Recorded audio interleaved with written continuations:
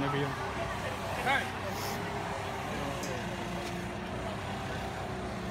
Chris, uh, you, you opened up the scoring. Um, two strikes, two outs. You're, you're leading the team in, in uh, two strike hitting or two out hitting runners in scoring position this year. What what kind of gives you the kind of mental toughness out there to, to come through in those kind of situations? Well, you know, in those situations, kind of step out of the box and you know take a deep breath and. I mean, I don't just try to put the ball back up the middle where it came from.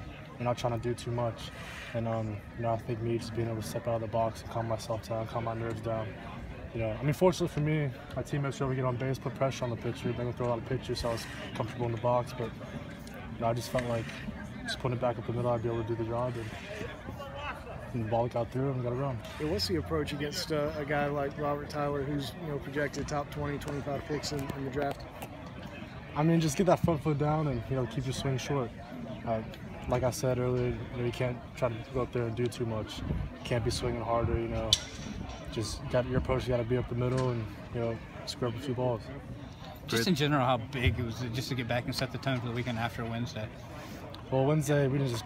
I mean, after after the Wednesday night's game, you know, it was good for us to you know come out here with some heightened awareness, some fire. Um, playing an SEC matchup, you know, there's no easy game in the SEC, but being able to you know come out scoring right away and you know Clarke pitched a heck of a game um, you know, being able to do that and set the tone for the weekend's huge for us. Chris, I'm sorry if you've already been asked this, but what, what did you see from Clarke? You had a pretty good view for him all night. You know, everything was working today, and he was confident throwing everything. Um, you know, he was spotting up. His, his stuff was you know, moving like crazy, and that's all we could ask for him is like compete his butt off, and that's exactly what he did. You know, at this point in the season, is there anything that he does that surprises you? Not at all. Not at all. I mean, yeah, we, we all have confidence in him coming out every day and you know competing. Um, and he's going to give us everything he's got every single time he's on the mound and, and everything. Everyone's just supporting him and you know we're going to ride with him as far as it takes us. Is it different catching a complete game and what, what's that like? And is this one of the ones you'll remember for a while? Uh, well, catching a complete game is tough on the body, but I mean, when you're playing in the SEC and you're competing with these guys, um, you know, you really you really don't think about it too much. But um, you know, I, I don't really think about you know how it wears down my body. I'll feel it in the morning, but um, I'll be ready to go for the following days. How much did this team need this after the way Wednesday night went?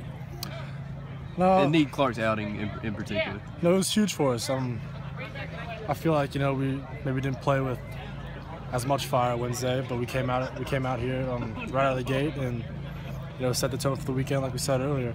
And I mean, that's just huge for us, like continuing the season as well.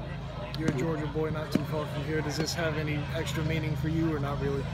Uh, I mean, it's good to come back here, come back home, you know, play against some guys you grew up playing with.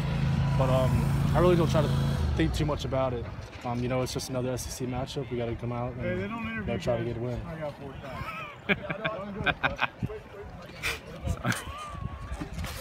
How'd you let LT make the flinch?